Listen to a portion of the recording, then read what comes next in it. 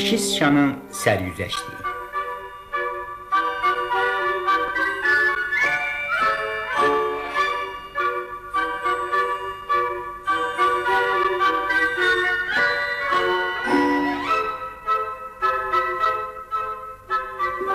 Biri vardı, biri yok idi. Yeryüzünde iki sıçan vardı. Bunlardan meşede, o biri ise evde yaşıyordu. Meşe sıçanı ile ev sıçanı rastlaştılar. Hal əhval tutdular. Meşə şişanı gündən, küləkdən yanıb qaralmışdı. Özü də yaman arıq idi. Ev şişanı isə ağ və totuq motuq. Meşə şişanı təzə tanışını meşəyə gəzməyə çağırdı. Necə dolandığından nağıl edib dedi. Yemək üçün e, karlıq çəkmirəm. Meşədə hər şey var. E, oyuğun içində özümə yuva düzəltmişəm. Ağacın kötüyünün altında isə ambar. Səhərdən axşama, kimi rahatlığım yoxdur. Əlimə keçəni azuqanı ambara daşıyıram ki, e, qışda nə özüm, nə də balalarım karlıq çəkməsin. Meşə şişanı süfrə açdı. Qış azuqasından seçib, qoz və şabalıtın yaxşısını, meyvə köklərini, sarı buğda dənələrini ortaya tökdü. Ev şişanı əvvəlcə az gözlüklə süfrəyə cumdu.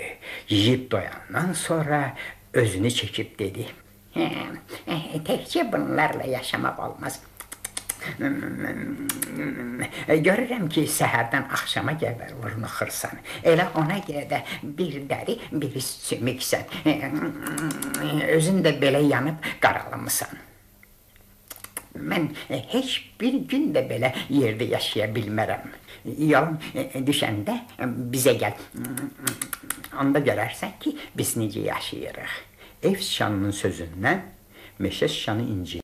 Ona görə fürsət tapan kimi şəhərə cümdü ki, Gülsüm təzə tanışının sözləri doğrudur ya yox. Ev şişanı, meşə şişanını içəri atan kimi oturmağa məcal vermədən başladı. Bax, mənim iki otağım var. Biri qış otağı, biri də yay otağı.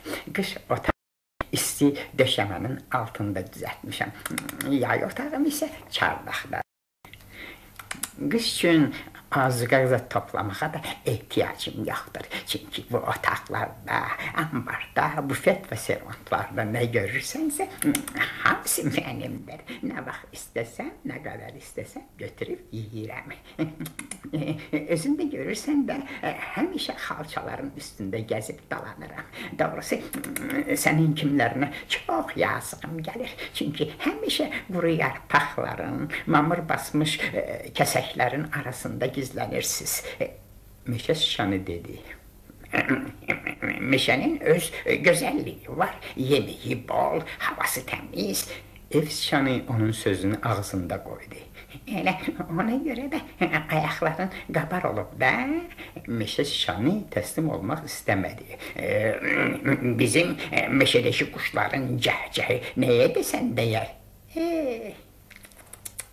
Quş nə deyir? Burada elə oxuyanlar, elə çalanlar var ki, daha nə deyim? Ev şanı hey danışır, meşə şanda gözləyirdi ki, indi süfrə açılacaq, ev şanının təriflədiyi yeməklər ortaya gələcək. Düzü, özü də yol gəlib yaman acımışdı, amma ev şanı özünü o yerə qoymurdu. İndi də bəri gəl, mənim üçün hər şeyi hazırlayan adamları sənə göstərim. Sıçanlar çardağın dirəkləri üstə çıxıb evin içinə baxmağa başladılar. Nahar vaxtı idi. Ailə süfrə başına yığışmışdı. Kənarda alabula pişik oturmuşdu. Uşaqlar əllərinə keçən yaxşı tikələri onun qabağına atırdılar.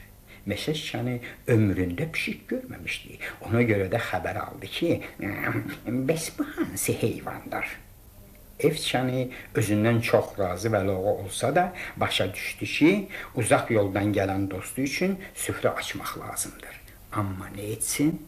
Azqası yox idi. Günün günorta vaxtıda bir şey oğurlamaq qorxulu idi. Ona görə də ev şikanı meşə şikanının sualını eşidəndə sevindi fikirləşdi ki, onu alaram, var yoxunu əlimə keçirərəm. Həm də qonaq etməkdən canım qurtarar. Ona görə də belə cavab verdi. Hə, o, o mənim e, qarı nənəmdir. Bu evdə hamı ona hörmət edir. Zəhmət çək, e, get onunla görüş, e, görsün ki, meşədə də qanacaqlı şanlar var. Yox, yaxşı düşməz. Mən onu, o, o deməli tanımır. E, Gəl birlikdə gedək. Ev sıçanı gördü ki, başqa əlac yoxdur. Yavaş-yavaş çardaqdan düşüb otağa keçdilər. Pişik onların hənirtisini duymuşdu.